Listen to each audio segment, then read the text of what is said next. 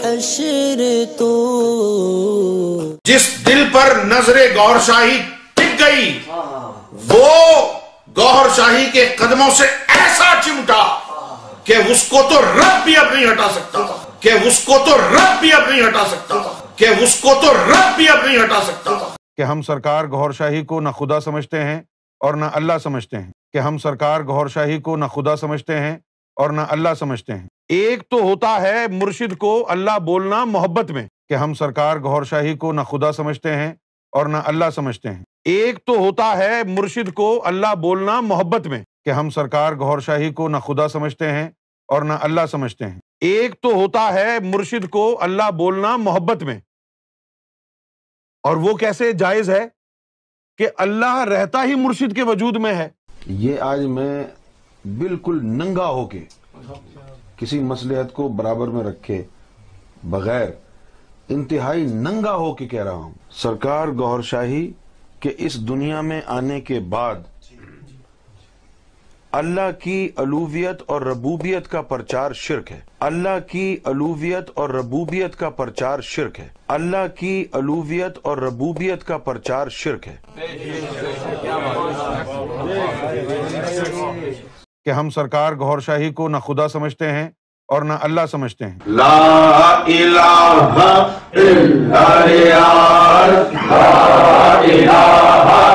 कि हम सरकार गौरशाही को न खुदा समझते हैं और न अल्लाह समझते हैं।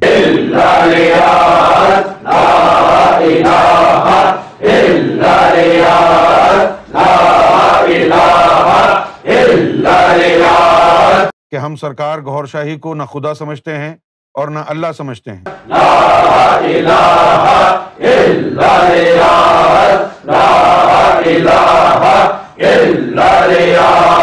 आप सीना मुस्तफ़ा को फरामोश कर दें, किताबें उठाएँ और फजलू के चले जाएँ आप मदरसे में और वहाँ से जाके इल्म हासिल कर लें। ये बिद्दत है और ये जहन्नम के कुत्ते। ये बिद्दत है और ये जहन्नम के कुत्ते। ये बिद्दत है और ये जहन्नम के कुत्ते। ये बिद्दत है और ये जहन्नम के कुत्ते। हिंदुओं के वैद हैं।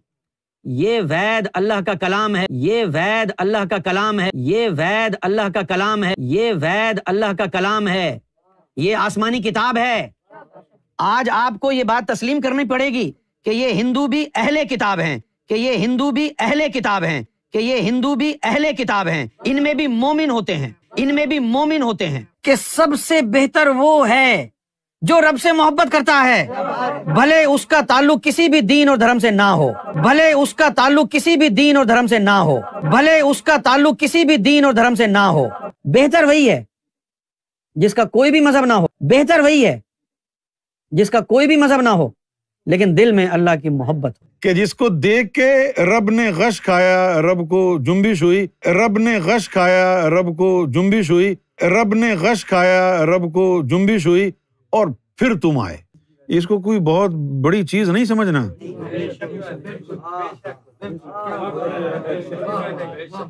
बहुत बड़ी चीज़ नहीं समझना इसको। तो मेरी लाज रखना गुमराह नहीं हो जाना। इनका सवाल ये है कि यूनुस गोहर शाही के मानने वालों को क्या मुसलमान समझा जाएगा कि अगर वो मर जाएँ तो उनका जनाजा होगा या नहीं? तो यूनुस गोहर शाही के जितने फॉलोअर हैं, अगर वो इसके शिरकिया अकीदे से वाकिफ़ हैं, कुफरी अकीदे से वाकिफ़ हैं, यानी काफ़ी पुराने हैं और इसके कुफरी अकीदे, इसके कौल से वाकिफ़ हैं तो फिर ऐसी सूरत में वो जो है मुसलमान नहीं है। ठीक वैसे ही यूनुस गोहर शाही और इसका जो गुरु घंटाल था, जो पहले मरा, जो अपना आपको ईसा में इमाम मेहदी बताया करता था। माजल्ला फिर बाद में खुदाई के दावे भी इनके होने लगे और अब इसका, ये जो गंजा बैठा हुआ है, इसका चेला, ये भी इसको जो है ना, खुदा मनवाने पर आमादा है माजल्ला और तमाम खुदाओं को पालने वाला ये उसको समझते हैं रियाज को। और साथ में ये कि कलमा भी माजल्ला ये इस तरह पढ़ते हैं, ला इलाहा इल्ला, ला इलाहा इल्लल्लाह ला इलाहा इल्ला रियाज, ला इलाहा इल्ला रियाज, के अल्लाह रियाज के सिवा कोई इबादत के लायक नहीं है, माजल्ला। तो अगर कोई शख्स इतना अंधा हो गया है, इसकी मोहब्बत के अंदर, कि उसको ये कुफ्र और शिरक भी नज़र नहीं आता, कि ये बंदा अल्लाह तबारक व ताली का कलमे के अंदर जो है, उस बंदे को शरीक करता है, या अब ये कि कहता है कि खुदा का अब जो है ना प्रचार करना खुदाइत का प्रचार करना, इनके रियाज के आने के बाद ये शिरक है। माजल्ला, यानी अब यही हकीकत खुदा है, इसके बाद अब कोई खुदा नहीं है। इतना खुले हुए कुफ्रिया और शिरकिया जिस बंदे के अकीदे हों और वो फॉलोअर इसके अकीदे जानता हो तो फिर वो मुसलमान नहीं हो सकता। अगर वो मर जाए तो उसको गड्ढा खोद के ऐसी दफन कर दिया जाए, जिस तरह किसी कुत्ते को दफन करते हैं, लेकिन उसकी नमाज़ जनाजा कफन दफन नहीं किया जाएगा। और ये बंदा जो यूनुस गोहर शाही गंजा बैठा हुआ है, ये भी कोई मुसलमान नहीं है। ये असल में पैड लोग होते हैं। ये इनको मुसलमान के नाम पर और लिबास पर जो है ना बहकाने के लिए मुसलमानों को बिठाया जाता है। और हमारे कौम के अंदर बहुत सारे ऐसे जोहला किस्म के लोग हैं, जाहिल किस्म के, कि जो ये कहते हैं कि जी बस कलमा पढ़ता हो तो सबके पीछे नमाज़ पढ़ लें। और वो ऐसे बंदे को भी जो है ना मुसलमान समझते हैं और ये सूफ़ीज़म के नाम पर ढोंग रचाता है। हालाँकि शिरक का मामला, सूफ़ीज़म का मामला, ये दोनों बिल्कुल अलग अलग राहें हैं। इनका आपस में कोई ताल्लुक़ नहीं है। किसी भी अल्लाह ताला के वली ने या किसी सूफ़ी ने इस तरह कलमा ना पढ़वाया हो कि कलमे के अंदर वो खुदा के बदले अपना नाम लेके ला इलाहा इल्ला फ़ुला। ठीक है तो ऐसा कभी नहीं होता। ये मामला जो है ना, बंदा जो लेकर आए सूफ़ीज़म का, ये मुशरक है। और मुशरक होने के बिना पर जो है ना, वो काफिर है। तो इसके वो फॉलोअर जो इसके कुफरिया शिरक अकीदे जानते हों कि ये अल्लाह ताला के बदले में अपने बड़े को, अपने पीर को खुदा कहलवाता हो।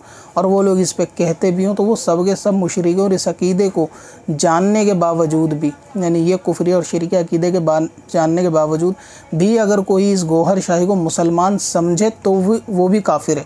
यानी अगर कोई इसके काफिर होने में शक भी करे ज़र्रा बराबर के काफिर है या नहीं तो वो शख्स भी काफिर है जो इसके कुफर में शक करता है, जबकि ये इतने खुले शिरकिया और कुफरिया जुमले बोलता है। और ये एक फ़ितना ज़रूर है पाकिस्तान के अंदर। अब तो मेरे ख्याल से वहाँ ये रहता नहीं है, लेकिन एक फ़ितना ज़रूर है जो नौजवानों को सूफ़ीज़म के नाम पर और नमाज़ रोज़ों से दूर करके कि बस दिल के अंदर मोहब्बत और मोहब्बत इनका ईमान है और मोहब्बत ही जो है ना इनका दीन है। और अल्लाह ताला ने दीन को जो पसंद किया है, वो मोहब्बत का दीन है और ये नमाज़ रोज़ों का दीन और ओलमा से सबसे ज़्यादा बदजन करने वाला इन ऐसे लोगों के अंदर जो है ना, वो मिशन पाया जाता है कि उलमा से कौम को बदजन करना, उलमा के ख़िलाफ़ जो है ना प्रोपगंडा अपना कर, लोगों को उनके ख़िलाफ़ करना, उनकी मोहब्बत दिलों से निकालना, उनकी अहमियत दिलों से निकालना, ये इनका जो है ना प्रायोरिटी पर काम करते हैं, ये इस चीज़ को लेकर, ताकि जब कौम या नौजवान उलमा से बदजन होंगे तो वो यही समझेंगे कि जो ये बंदा बता रहा है वो सब सही बता रहा है। हालाँकि इसला इस्लाम से या सूफ़िज़म से, तरीक़त से इसका कोई लेना देना नहीं है। तो ऐसे ब्लाइंड और अंधे फॉलोअर के जो इसके कुफरी अकीदे से वाकिफ़ होने के बाद भी इसे मुसलमान जाने, या वो लोग जो इसके कुफरी अकीदे से वाकिफ़ होने के बाद इसे मुसलमान समझें तो वो लोग भी काफिर है। तो ये बंदा बिल्कुल मुशरक, काफिर और वाजिबुल कत्ल अगर इस्लामी हुकूमत हो तो इसको इतना मारा जाए, इतना मारा जाए, इसकी चर्बी सारी उतर जाए, इस पर जो मोटापा हराम का खाकर चढ़ा है ना जिसम पे वो सब उतर जाए। और इसके बाद फॉलोअर तो हिंदुस्तान के अंदर भी बढ़ रहे हैं, लेकिन आप देखेंगे इसकी शक्ल सूरत से भी कहीं से कहीं स्कॉलर या मुसलमान का कोई असरात भी इसकी सूरत पे नहीं है। और ऐसे लोगों की जो सूरत के ऊपर नहूसत रहती है ना, अल्लाह तबारक वाली की फ़रिश्तों की लानत बंदों को वो भी नज़र नहीं आती कि जिसका उठना, बैठना, पहनना, ओढ़ना ही इस्लामी शरीयत के मुताबिक ना हो। वो आपको अल्लाह ताला से करीब करेगा। वो आपको ऐसा ज़िक्र देगा कि आपके दिल में रूहानियत आएगी और वो अल्लाह ताला के आपको नज़दीक करेगा। अल्लाह का आपको दोस्त बनाएगा। ये बिल्कुल वैसा ही है। बंदे जैसे गंदे नाले के अंदर खड़े होने के बाद ये आस लगाएँ कि शायद कभी ना कभी इसमें से खुशबू निकलेगी। इसको कोई बहुत बड़ी चीज़ नहीं समझना।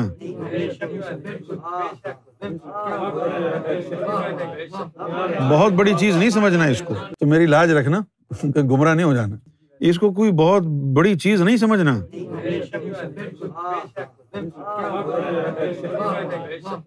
बहुत बड़ी चीज़ नहीं समझना इसको।